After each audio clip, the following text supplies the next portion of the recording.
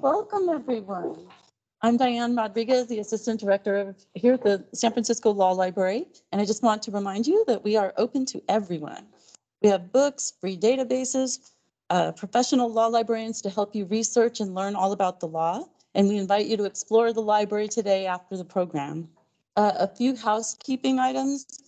Uh, reminders before we get started here, today's program is being recorded and transcribed and will be available on our YouTube channel soon. If you'd like MCLE credit, um, please make sure that you sign in at the desk over there and we have handouts for you if you'd like to uh, pick those up. Um, also, please uh, take a moment and silence your personal phones. And to get to our matter at hand here.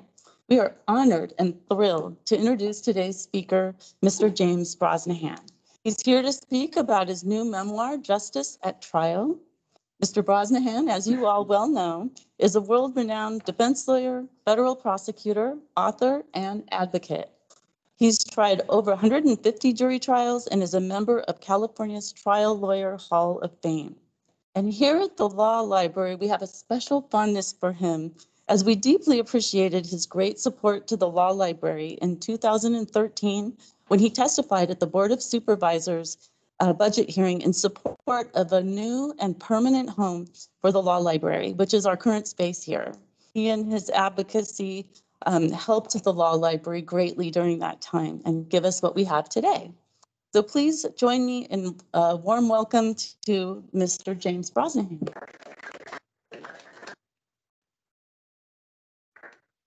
Hello, everybody. Uh, thank you for that kind introduction. You know, librarians make me feel good just to be here with them and give me a chance to say that uh, I know in parts of the country there are people who decide now, they think about what books you can read and what books you can't read. And uh, those of us who read books like yourself uh, don't agree with that my guess is. I hope you don't agree with it. We'll see what we can do about that. Um, so this much is true. I tried cases for 60 years and uh, all kinds of cases, civil and criminal. Uh, I'm going to talk to you a little bit about the book, but it's really not so much about the book as the people in the book, because a lot of the heroes in the book are not me at all. It is a memoir. But uh, I saw lawyers, I saw judges, I saw people, clients who showed enormous courage at one time or another. We're going to talk about some of those people. Uh, I saw the change. When you think that I started uh, in the practice of law in 1959, it was uh, quite different. And uh, I think in a lot of ways it's better now than it was then. And we'll talk a little bit about about that. Um, down the street from where I walked in in February of uh, 1963 uh, as a federal prosecutor, I started in Phoenix and uh, was lucky enough to get a job here in San Francisco. And uh, it was it was a great office. It was a, a wonderful, strong office. Um, there were some great lawyers here. If you don't mind me talking about my memories a little bit, uh, although I will tell you that the 19 chapters in the book were selected by me because they're newsworthy now, like the Mexican border, which we'll talk a little bit about. What what is it really like on the Mexican border. And some of the people were like Jake Ehrlich, Allen, who defended Allen Ginsberg's poem, Howl, in the 1950s. That poem is about the gay life. And that's the first time I will mention to you that these were my heroes. You know, frankly, trial lawyers, we're not, we're not like other people. I mean, why would we why would we defend some of the people that we defend? Why would we do that? And um, Jake Ehrlich didn't have any problem with it, and he demolished an expert, a literature expert from California, uh, on his cross-examination, one of the best cross-examinations I ever saw. Agnes O'Brien Smith started law practice in San Francisco in 1940. I don't think that was easy. I think that was, I wouldn't even dare try to tell you what I think it might have been like.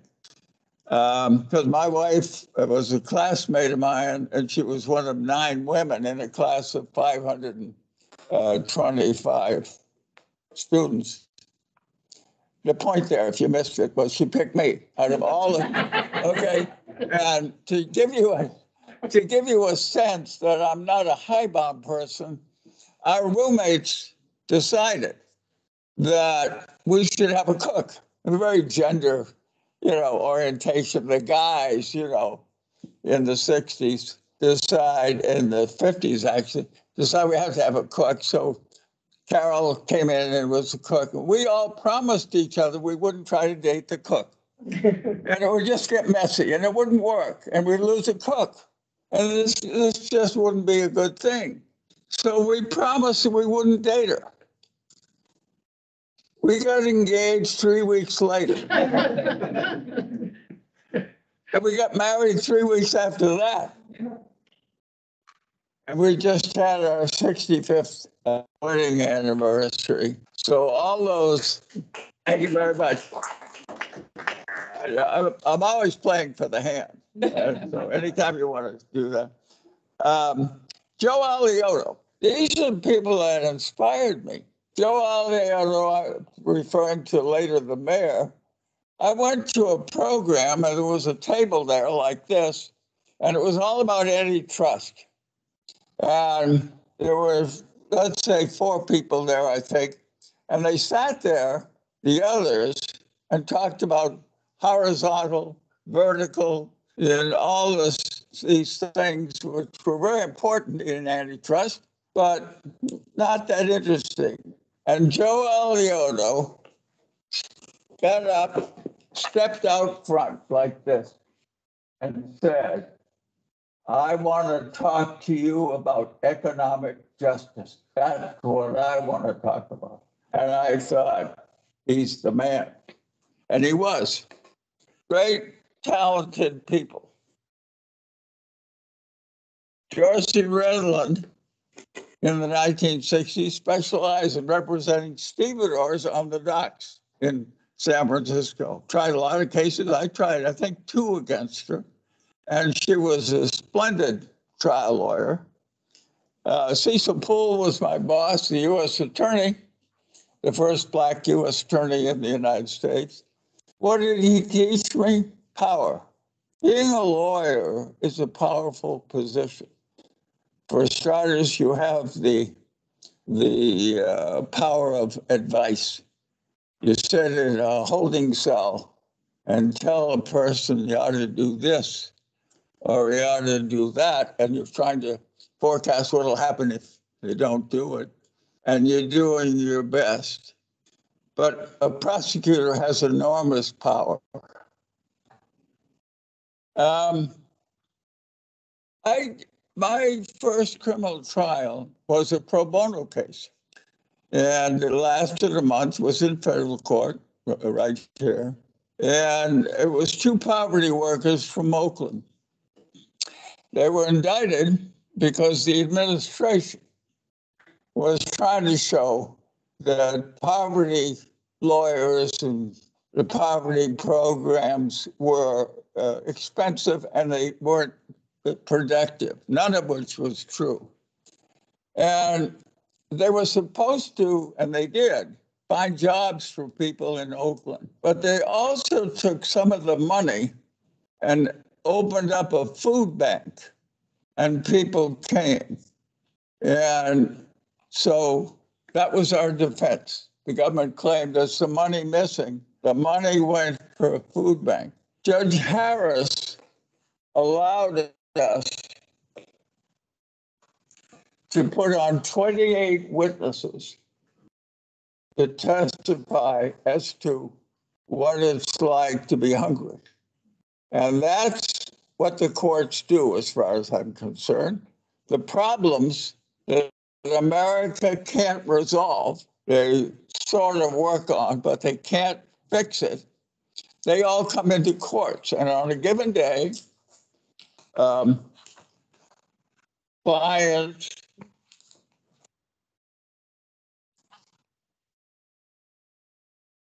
of the food bank uh, came in uh, and testified this way, quote, I'm not going to read a lot from the book, but I've got a couple of things you might be interested in. And of course, as we are here enjoying the company of each other, there are people in Oakland who have these symptoms.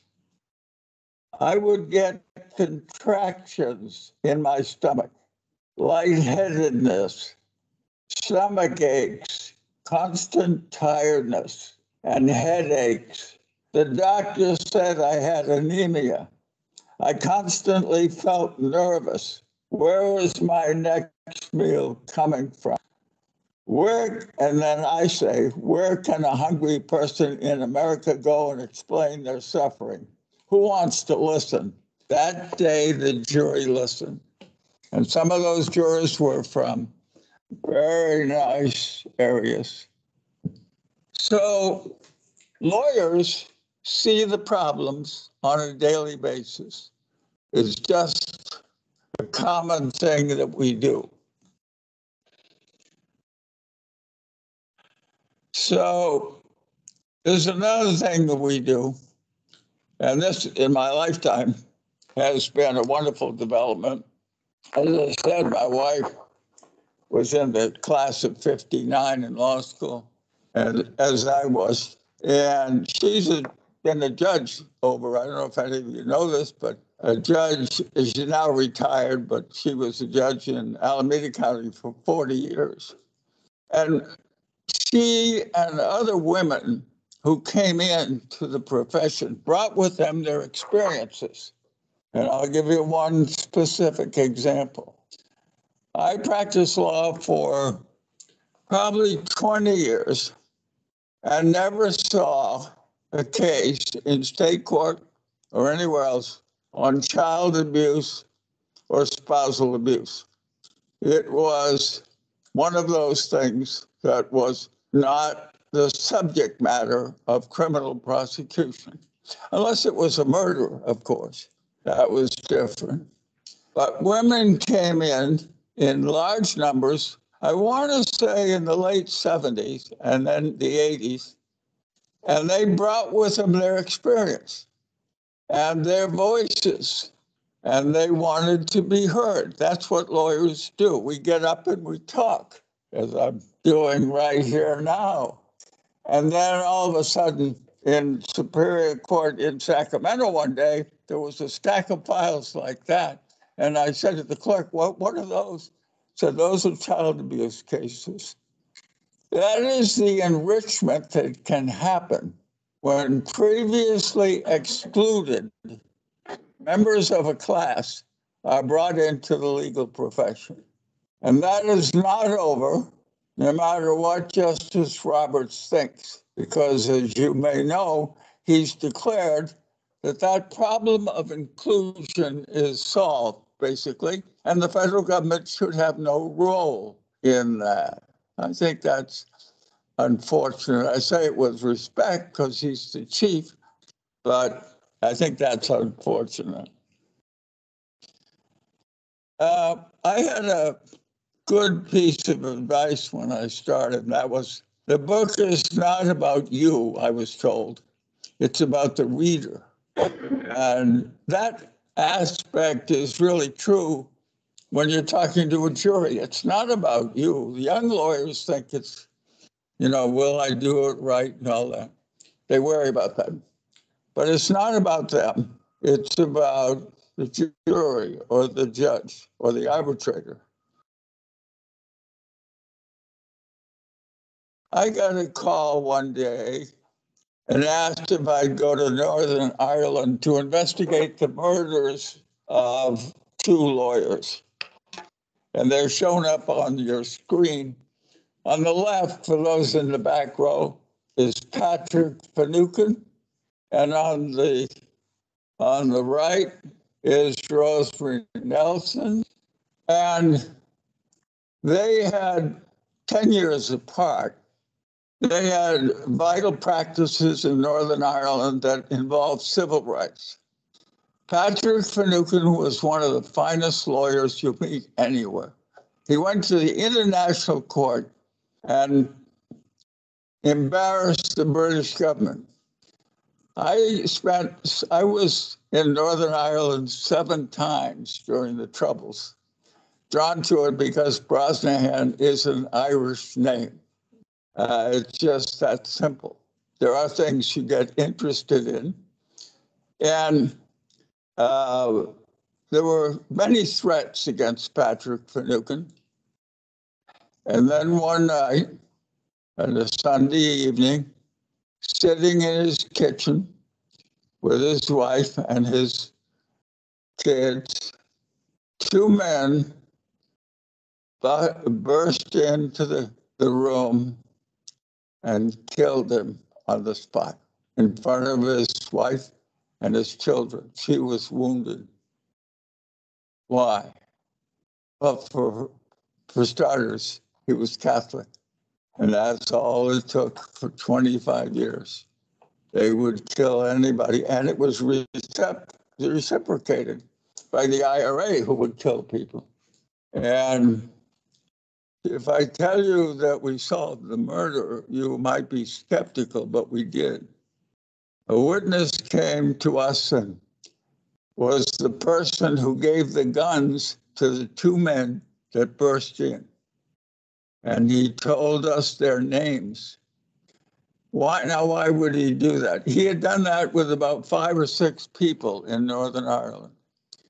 So, drawing myself up on my full Esquire attire, I wrote to the Attorney General of England. Hello, Attorney General. My name is Brosnahan. I'm a lawyer in San Francisco. We know who murdered Patrick Finucane, and we have the names. Happy to talk to you anytime you want. I wasn't in the room when, if he ever read the letter, but I think it went something like this.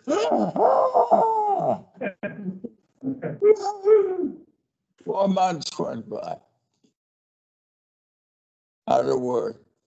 Finally, a note came from an underling below the underling below the underling, which said, We don't handle this matter. Uh, it should all be handled in Northern Ireland. So you got to write to them. So I did. I wrote to the right person in Northern Ireland, never heard back. The witness who gave us the information and who gave us the names walked out of his house one morning down the steps and was shot dead. Just another death in Northern Ireland when there were so many. Rosemary Nelson was part of a new wave of women and lawyers, graduated from Queens College, came over to the United States because her practice, she wanted to report death threats against people who were lawyers, testified before Congress, had enormous courage, married to a nice man who I met, who's an accountant, and had a daughter and two sons. And one morning, she backed her car down this short driveway, turned her car like every day when she's going to work. She had her own office. The car went down. When she put the foot on the brake, the bomb that had been placed under the driver's seat went off and mortally wounded her. Her daughter uh, heard the sound at the school, which was up on the hill. So I'm telling you about two lawyers in a country where all kinds of people were murdered, but it, it seemed to me that you don't kill the lawyers, and especially you don't kill the lawyers when the police are involved, which they were in both of those cases. So Brosnahan descended from people who came over on the boat out of the hunger in the 1840s and 50s, sat in the office of the chief constable. And we confronted him about the problem of his people being involved in the murder. It was the most fun I've had in Northern Ireland any time I was over there. And uh, he kept getting up and saying, Thank us for coming. And we kept sitting and asking him more questions about whether, wouldn't it be good if you could get control of your, your officers? Just a thought. Um, when opportunity knocks for a lawyer, you ought to accept it. So I was uh, fortunate enough to get a job as a federal prosecutor in Phoenix, as I mentioned, where we started. We lived there for three years. And um, so I'm, I'm there my first day, and I get through the first day. I've had no briefing by anybody as to how you do this or how you decide to prosecute or not. My boss came in the second day. We had only five lawyers in the office, very small office. And he said, There's a trial on Monday. Will you do it? And that was the fulfillment of my dream in college. Uh, try a case. Yeah, that's my first case. And I said, Sure, I'll do it. And he gave me the file. I opened it. It was a first degree murder case with a request for the death penalty. Wow. What an interesting Tuesday this is. And how will I do that? And I realized that law school had almost nothing to do with my assignment for the following Monday. And uh, the story is in the book. Uh, and I tried it. And of course, uh, once you try a murder case, you think, you know, you can imagine my ego at that point because we did, we did win it. And there's stories in there about the defendants. And they had stabbed to death a young man. Uh, they were both teenagers. This is asking for the death penalty for teenagers, which I didn't do it. I knew enough to not, not do that. I told the jury they should not do that. But it shows you the power.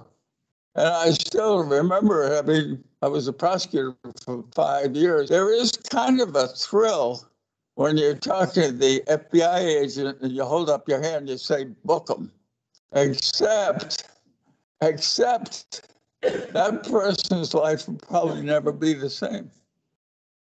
And that's the power of the prosecutor, enormous power. Why do lawyers do what they do? I touched upon that. I think that's a fascinating question. And I write about it in the book. I don't think that we care that much about public opinion. I really don't. I think that my answers are not highfalutin. Uh, there are highfalutin answers as to why lawyers do what they do.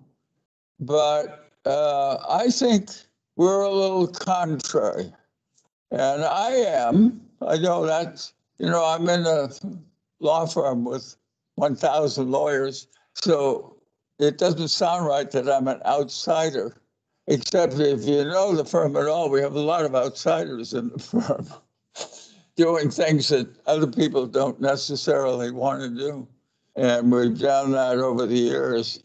Um, next time you see a despised person and a lawyer standing next to them, there's one exception that's recently I came to realize that not everybody's entitled to a defense. If that person is going to get you investigated, disbarred, or indicted. Okay, that's the one exception. I'm not mentioning any candidates or, you know, I don't know why you're laughing, but uh, uh, Is there any case I wouldn't take? Uh-huh.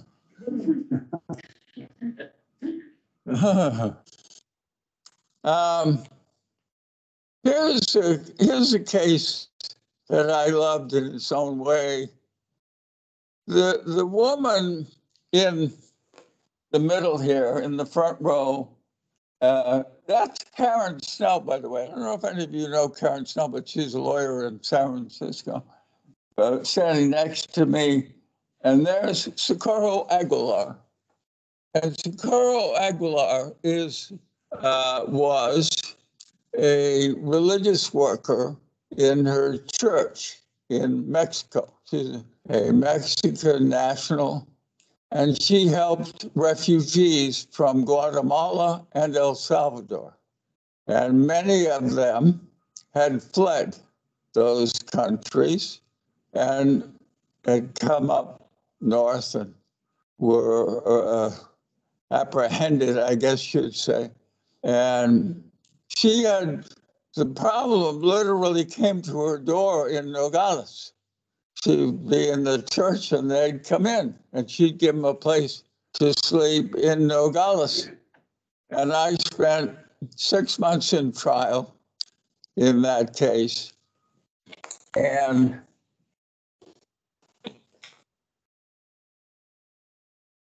the thing about lawyering, which I love actually, is what we learn. Because there aren't too many people, certainly probably none in our government, that ever talk to a refugee. And I did. Uh, Socorro wanted us that first day to understand her world in Nogales. By the way, she had received Woman of the Year from the Sonoran uh, government. And for the same conduct, she was indicted by the federal officials. And she took us to a Mexican prison. And we interviewed the women prisoners and you can imagine their clothes that come 900 miles and suffered serious problems. You can just imagine apprehended by the Mexican police sometimes. And then we went over to the men's area. Half of the room was open to the sky and half of it was covered. And Socorro had brought chips and hot dogs for them, and they ate those. There were about 40 men in the room. And here's what I wrote. Socorro suddenly began to gesture at the men and the lawyers to form a circle. She organized a prayer, holding hands with the 40 men in a large circle. I prayed for the first time in 30 years. Head bowed, my thoughts came naturally. Save these men from the worst, deliver them, protect them. There are images that stay with you when you try a case. And I interviewed one young man who was in uh, his school. His brother was in the school. Brother was 16, he was 14. They looked out the window and there were armed men around the school. They came in, took the older boys, including his brother, and he never saw his brother again. You can't make that up. And lawyers gather those facts, and that's that's what we do. Now, on a lighter note, should you pick a red faced juror? Well, it depends. Uh, I represented a man uh, right here in federal court who had a liquor business, a, a prospering one, and but they had allegedly sold liquor for a price below the federally mandated liquor price, which they had at that time. And so there we are. We're going to try the case. Were interviewing the jurors.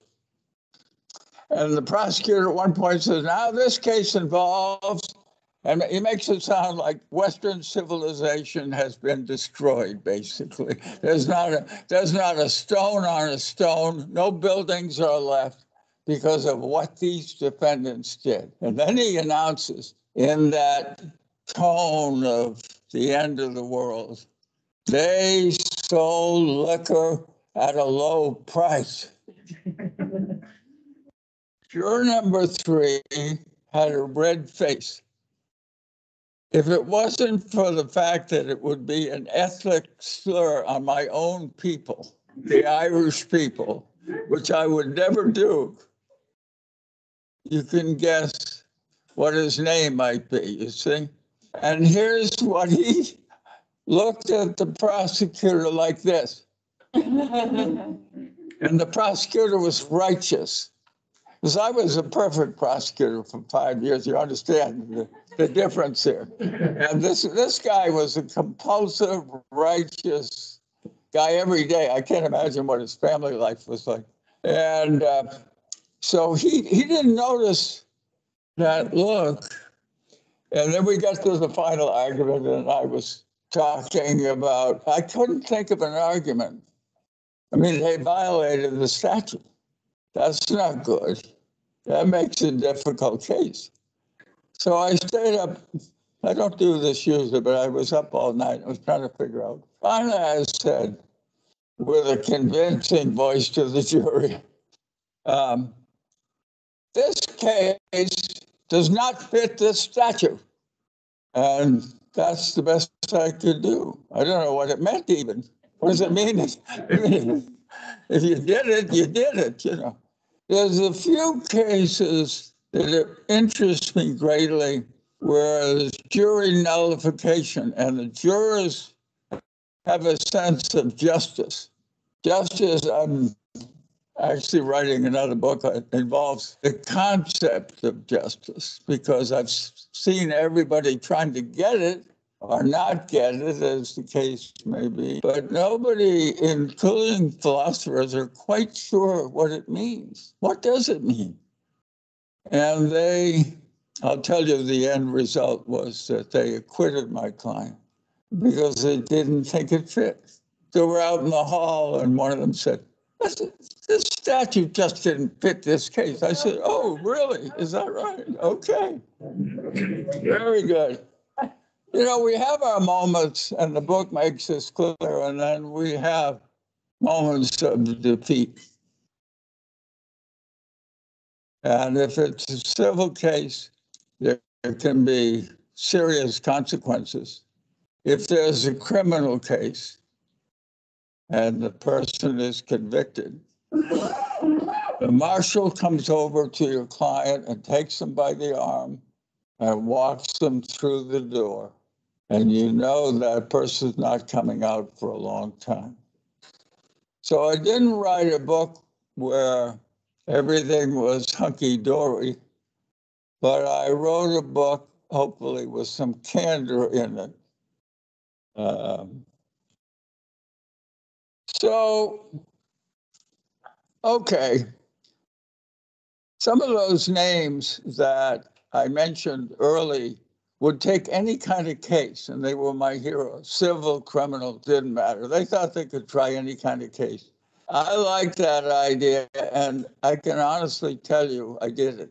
I tried 17, uh, seven rather, admiralty cases.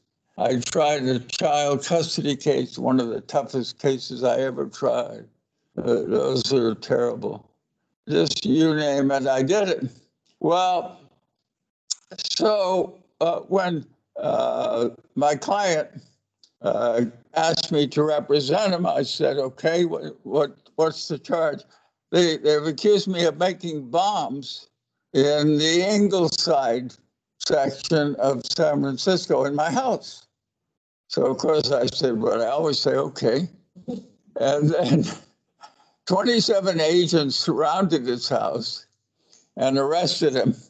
And the neighbors as you might imagine, were in some consternation But they, they always say the same thing. It's funny. When the terrorist is arrested, they, they seem like such nice people, you know. And Ingleside was never quite the same there for a couple of weeks. Um, but he didn't do it. And the FBI cheated. There's no other word for it. I don't want to convince you to not watch Law and Order. I'm sure there's some people here like myself that love to watch it. And um, so there we are in trial.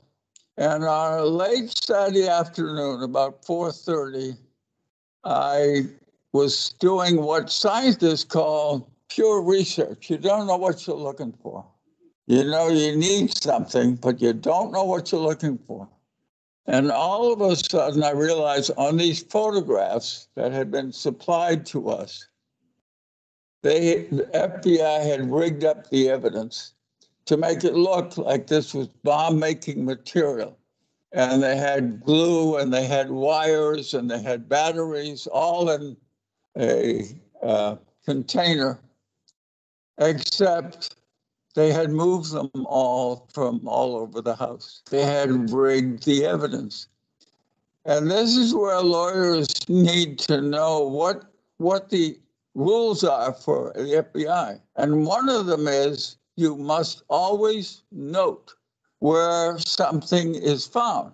For example, in a murder case, if the deceased is here and the gun is here, maybe that was suicide, who knows?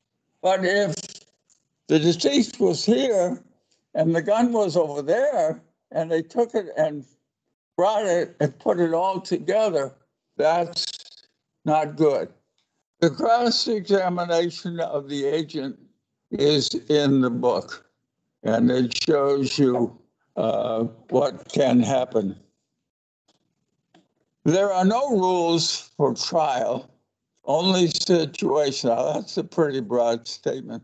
The young lawyers, and I, I taught, I loved it at uh, Berkeley, Berkeley Law for 10 years. They want to know what the rules are. That's because they're getting trained all the wrong way. Because you're in a trial, it's like, okay, what's happening now? Where are we? That's what you have to do.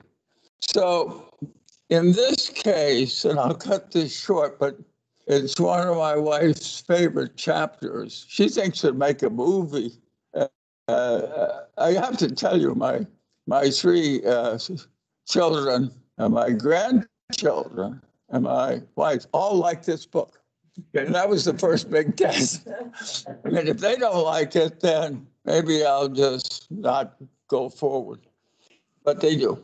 And she likes it to be a movie because it's about a woman who started with low economics, had to drop out of college at one point, went back to college, got a job at Wells Fargo Bank, um, advanced in the job, eventually became the head of the Bechtel Corporation, uh, which is, of course, a, a huge uh, corporation and unusual for her uh, to be the head of that, and then became the chairperson of Hewlett Packard.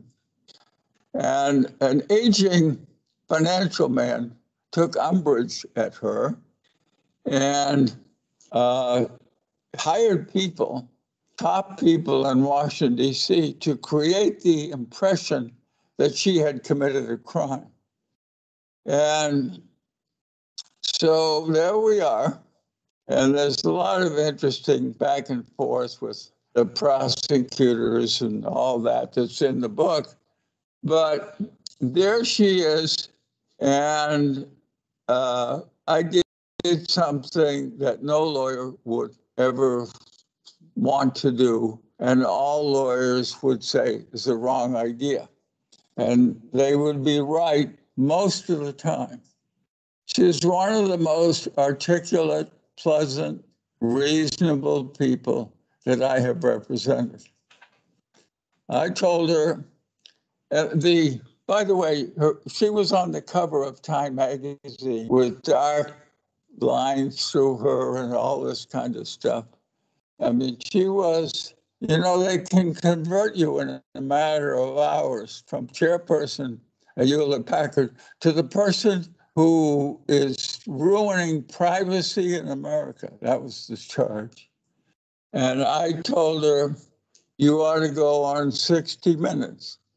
They always call and they ask that someone go on 60 Minutes. You always tell them no, because anything they say can be used against them in cross-examination. And so I, I said, I think you should do it. And she, she did it. And of course, she appeared before 14 million people. I told her, any lawyer you ask about this is going to say this is a terrible idea. About a week later, there was a huge dinner. Uh, I think it was at the Fairmont. The room was packed with celebrities, and the governor was there, and all that. And they had awarded her the uh, businesswoman of the year, and she told them, "You, sh- you shouldn't give me this because I'm indicted." And they said, "No, no, we insist." When they called her name, she got a standing ovation from 500 people. And it turned out that, as the book describes, that was um, the right thing to do, different. I want to quickly mention a couple of things, I want to leave time for questions, which we're happy to do. There she is. By the way, she taught me an important lesson. When all this was going on, and I submitted this to the prosecutor, she had stage four cancer. Stage four is the worst. And I never heard her in all the time I represented her complain about that or anything, uh, which is quite a lesson.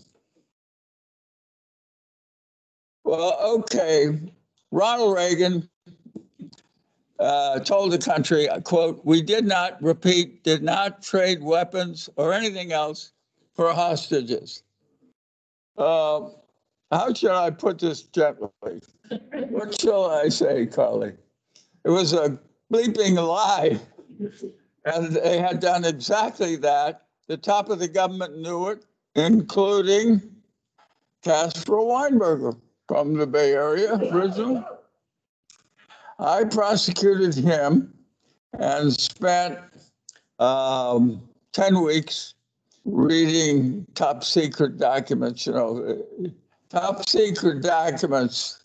Basically, there's this mean looking person who swears you in and says, you know, we're going to have to kill you if you, you know, if you, if you do this, we're going to have to kill you. And I would just say that, give you one example. Weinberger had a lot to commend him in his career. Let's be clear about that. He lied to Congress, a joint committee, appeared before them, told them support of Reagan that he didn't do what he what he did, and talked to FBI agents one day who came to his office, and they said to him, "We understand you keep notes." And he said, No, I don't keep notes. And they left.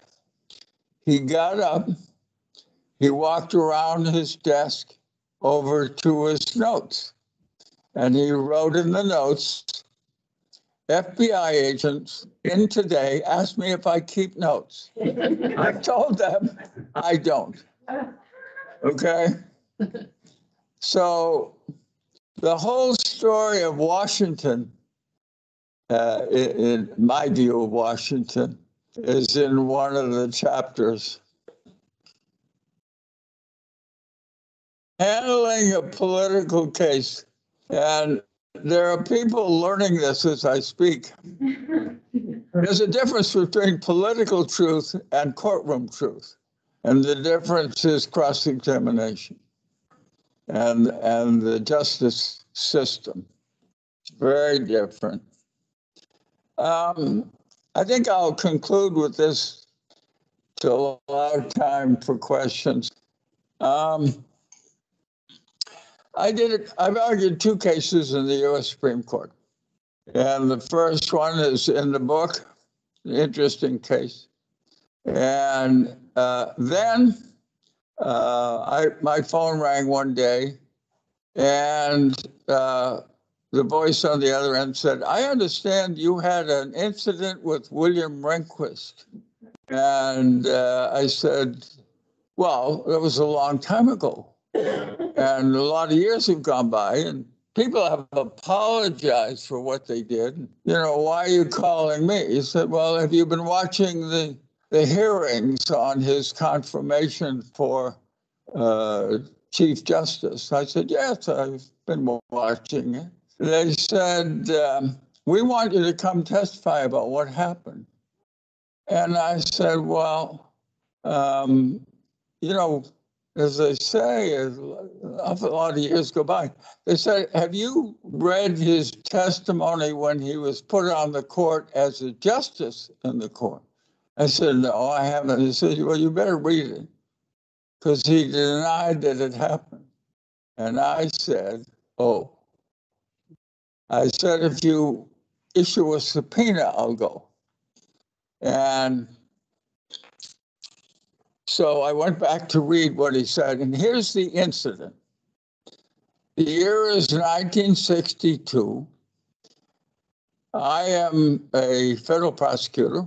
The boss said, Jim, uh, on Tuesday, you be responsible for complaints, because there are always complaints. People call up and complain. I said, okay.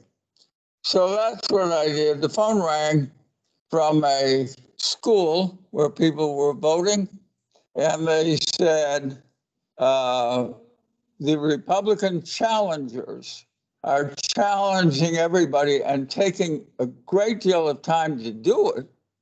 And that long lines are happening and people are getting discouraged and turning away. It was in a Mexican American people of color district uh, in south of Phoenix. So I said, okay, I got an FBI agent. We went down. It was one of the few times I flashed my badge. It's amazing what happens when you flash your badge. Everybody just calms down, which is what happened basically. And there was Rehnquist. And he was not only there, but he was in charge of the whole program. You know, I said early that uh, I picked these cases because they're still current. You know, that program by the Republicans is not only in existence, it's been defined in a way that reduces a lot of Americans from voting. So it calmed down. I, I left, and then I, years later, I'm asked to go back to Washington. And so I get sworn in, and they grilled me for two hours. The Democrats were almost worse, you know. Wasn't he killing babies down there at the school, you know, and so forth? Wasn't he slashing them with swords or whatever they could think of? No, no, no, no. And then Senator Hatch decided he was going to take me on. I never had more fun in my life. There's a movie I can never quite remember what it is. Somebody goes back to Washington and tells off everybody. That's a great movie. I think they play it. What is it? Smith goes to Washington. Mr. Smith goes to, no, no, Mr. Brosnahan goes to Washington. You're not paying attention. I'm not kidding.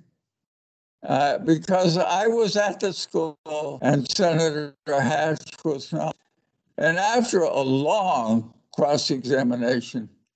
I looked at him and I said, you think I made it up? He said, yes, I think this on national television. I think you made it up. I said, well, I would rather be at Jack's restaurant in San Francisco having my favorite lunch on Friday than sitting here looking at you.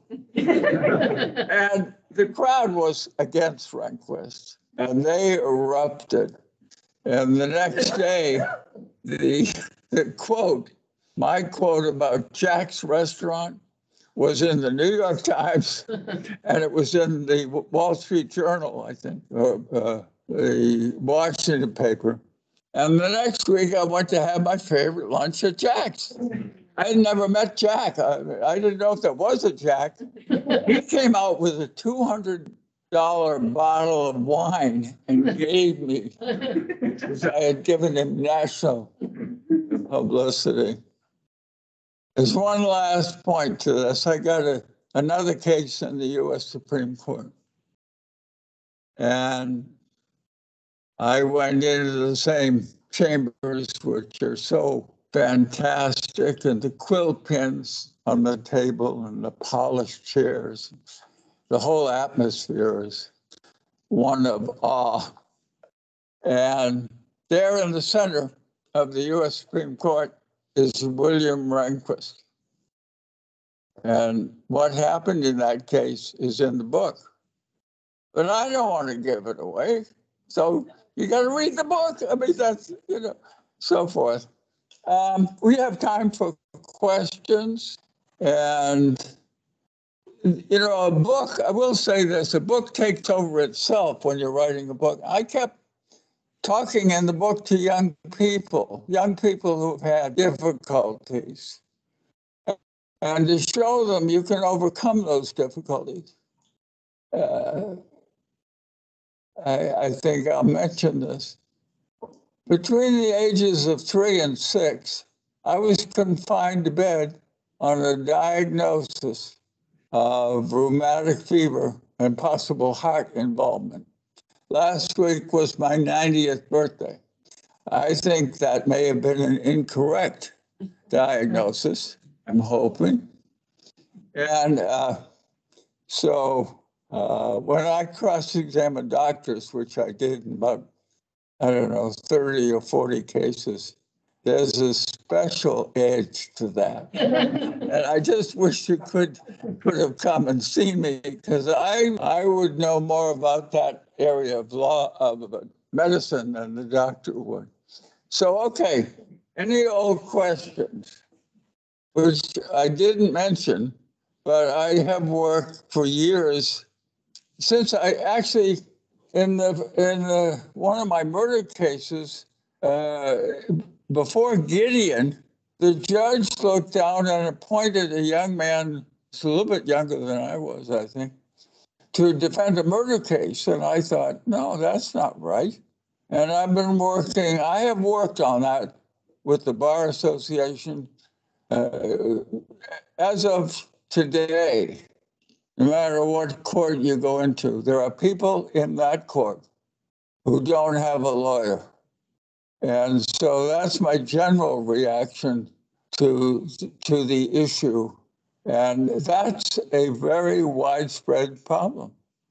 Okay, My, my uh, first question on my petitioner writ of certiorari to the Supreme Court was Congress shall make no law bridging the right of the people to petition the government redress of grievances. you know, Exactly what this law did. I would, it's, it's almost like I asked you to ask me that question. When I say I've been on this issue my whole life, whole professional life, I worked for a number of years to establish a civil right to counsel. And I still think that's correct. And that goes back to if there's a civil right to counsel, if you have a civil case, let's say not every case, but a lot of cases, you'll have a lot more litigation. And there are people that don't want that. And I think that's wrong.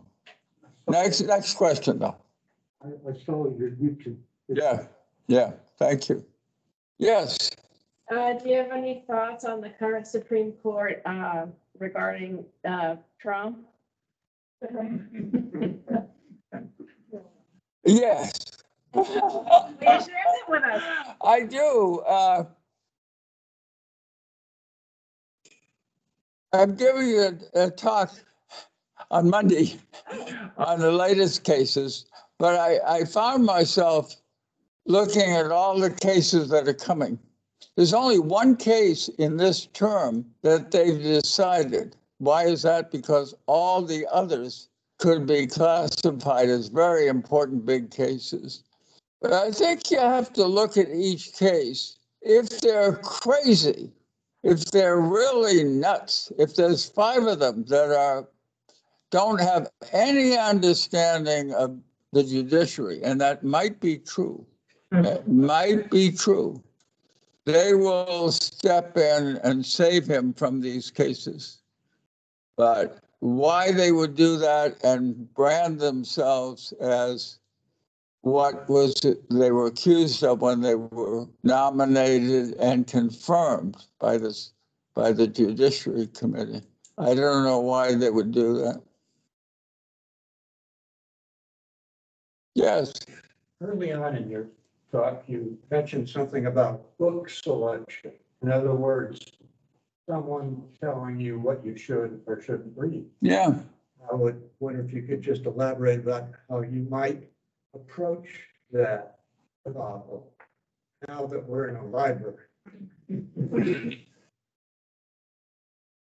Get a place I can go and give my talk. Uh,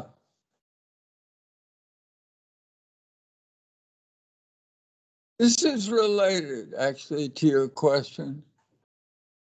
I don't understand why the Democrats in the Senate are fundamentally silent at this point in our nation's history. I don't understand that.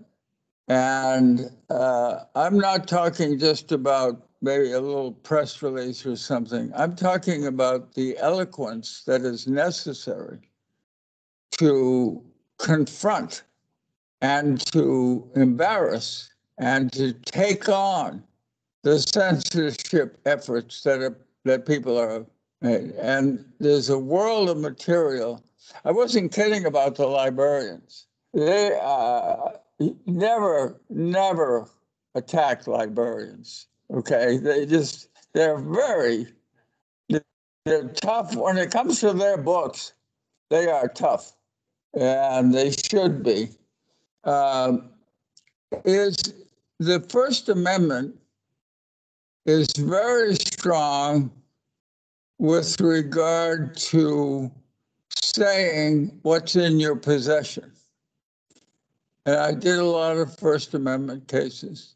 It's not quite as strong on your right to obtain it. Now, some of those cases are about the government, whether you can, the Pentagon Papers, you go back to the US Supreme Court, I don't know if you remember that case, but, uh, you know, could you acquire those, those documents?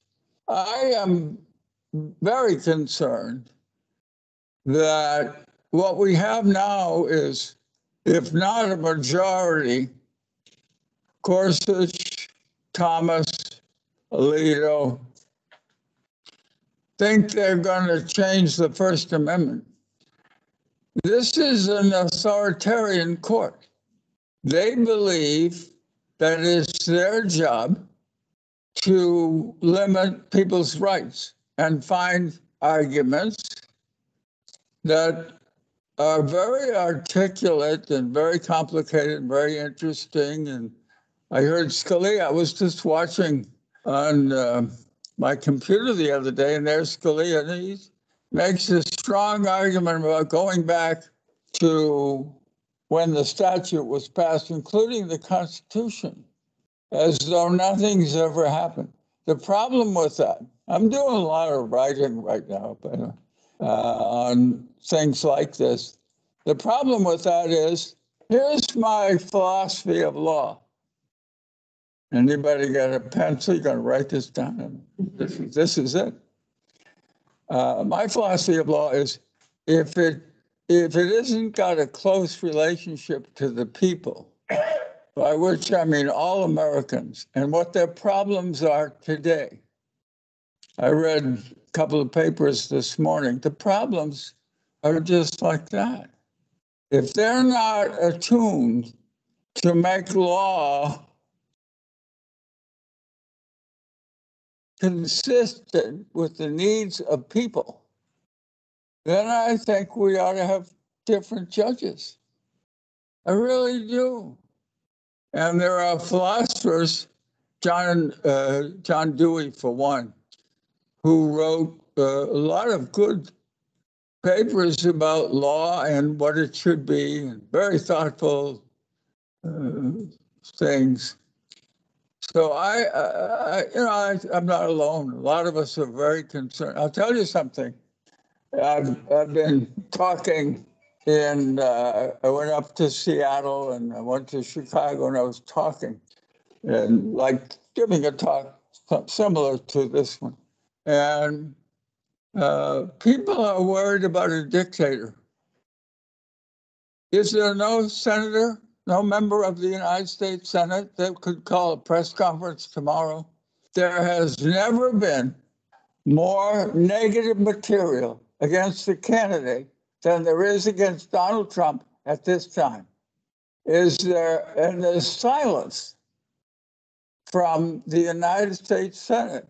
Well, the problem I have is that I read all these great speeches over the years, and Cicero gave a speech on Quintilian because Quintilian brought troops into Rome, and he, that was a violation of the Constitution.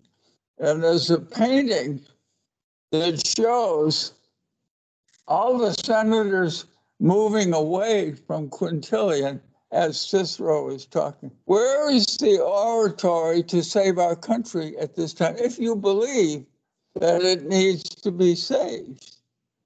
And censorship is one thing, but telling women to bear children, that you will bear children, somebody's going to die. Somebody's going to die after the refusal of an abortion.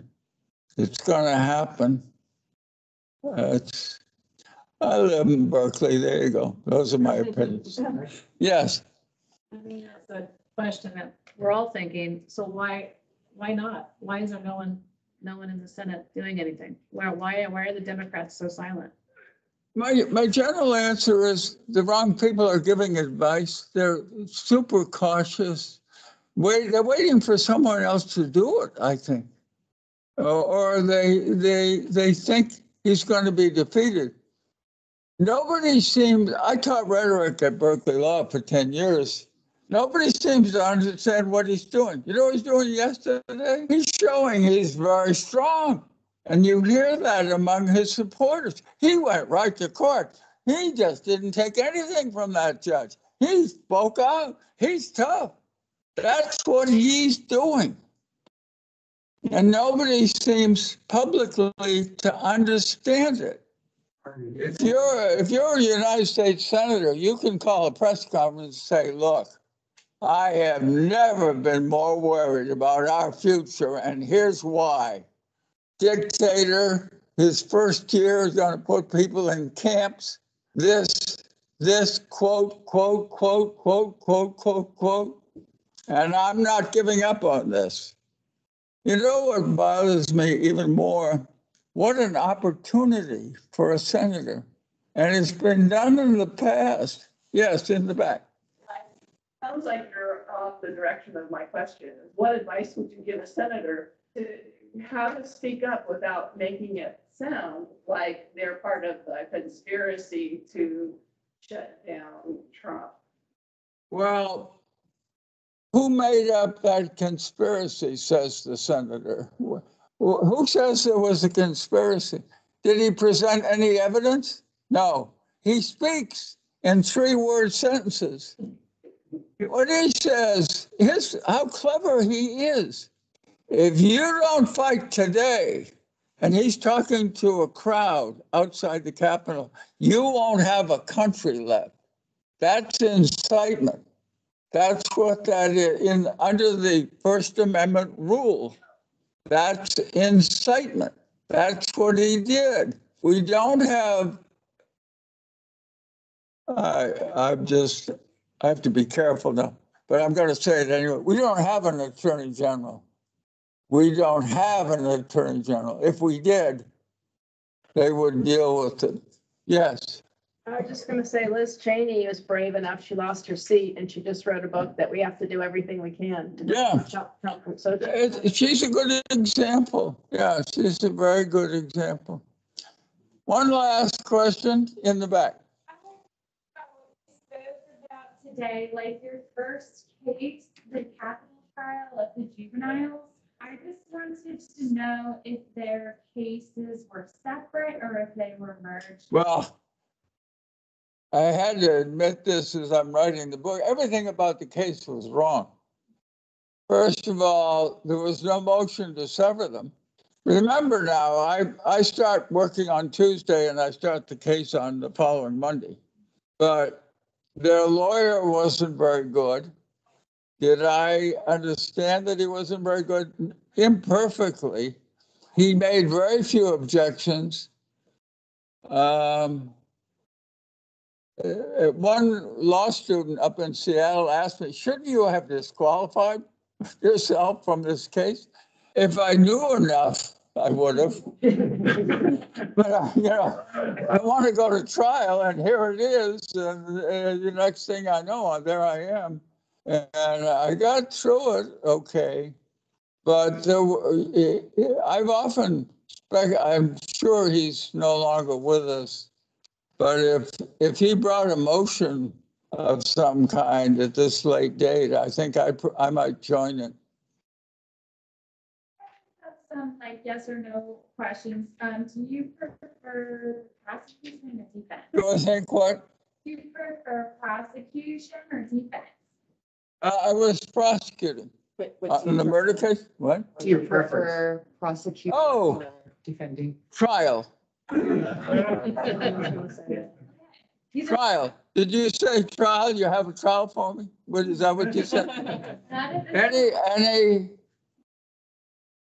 I've taken cases that really made my partners wonder, you know, was I okay? Um, any trial, courtrooms, I, I do miss that. I miss the courtrooms.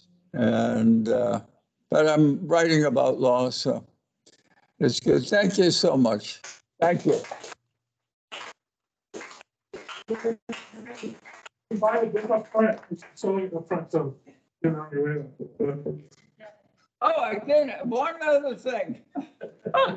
I just got this from my daughter, who, as I say, likes the book. And it's, it's got a circle, and the title is Content Analysis of the Memoir. And here are, the here are the parts of, of uh, colored sections here. Artistic license, verifiable true, possible but unlikely, misremembered details, dubious memories, disputed facts, myth making, rose tinted nostalgia, libelous score settling. There is one of those in the book. And bullshit.